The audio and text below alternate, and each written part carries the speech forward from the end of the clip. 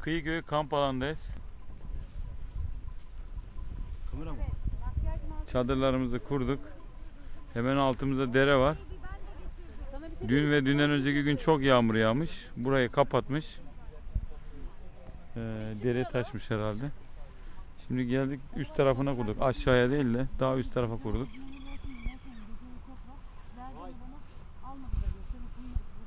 Lan o atmaca sesi ya.